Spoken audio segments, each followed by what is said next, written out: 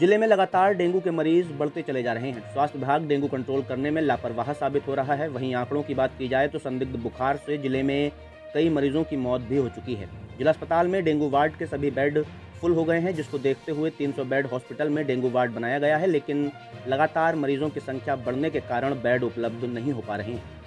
जिला अस्पताल में एक बेड पर दो मरीजों को भर्ती कर उपचार किया जा रहा है। मरीज़ के परिजनों का कहना है कि वो कई दिन से उपचार करा रहे हैं। बेड कम होने की समस्या के चलते एक बेड पर दो लोगों को भर्ती कर उपचार किया जा रहा है। ऐसे में जरा सी लापरवाही से संक्रमण भी फैलने का डर बना हुआ है। स्वास्थ्य विभाग अधिकारियों की माने तो जिला अस्पताल में डेंगू मरीजों के लिए बेड की सुविधा पूरी तरह से उपलब्ध है। वहीं स्वास्थ्य विभाग ने डेंगू से हुई किसी भी मरीज़ की मौत से भी इनकार किया है।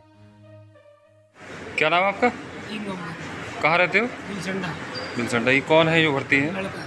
क्या नाम है लड़के का? अली निशान क्या दिक्कत है? क्या परेशानी है इसे इसकी प्लेटें कम है और ब्लड भी कम है। कब भर्ती कराया था? इसे ये पहले पीलीभीत में कराया था। हम्म, उन्होंने यहाँ रेफर कर दिया। अच्छा। परसों दस बजे रात से आई हैं पड़ेंगे क्या मतलब एक बेड पे कितने लोग लेट? रहे हैं एक बेड पे दो लोग पड़े। अलग बेड के लिए बोला आपने इनसे? बोला अवेलेबल नहीं है। अच्छा। कब आए थे? परसों दस बजे रहती जब से मतलब बेड की सुविधा नहीं मिली है। एक पे दो ही लोग लेटे हुए।